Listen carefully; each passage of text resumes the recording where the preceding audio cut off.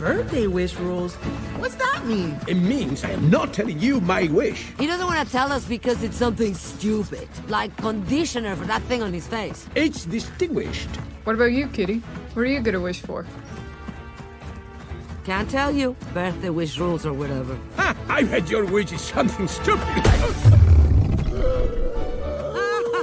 You're such a... Um, dog? This must be the pocket full of posies. Whoa! Ah! Ah!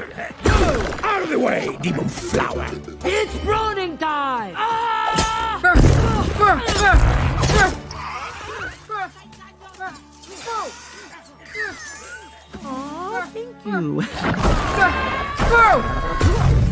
We don't have time for this! Dog! How do you handle these giant blue roses?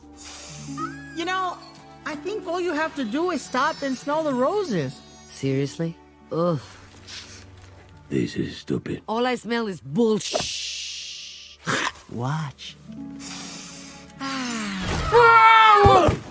Don't rush through it. Take your time and really appreciate what's right in front of you.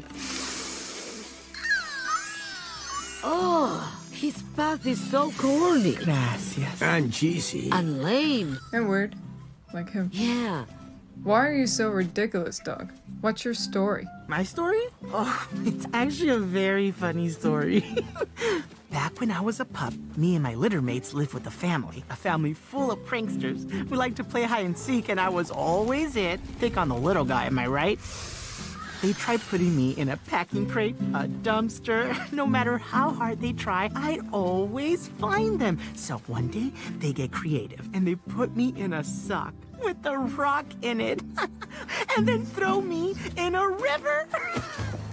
I gnawed a hole in the sock and I swam to the surface. Never found them or my litter mate, so I guess I'm still it. That is the saddest funny story I've ever heard. Well, joke's on them. That sock they put me in, I grew into it. So, I got a great story and a free sweater out of it. Win win. Dude, you didn't win. You, of all people, should have a wish. I already have a comfy sweater and two best friends. I got everything I could wish for. No magic required. hmm?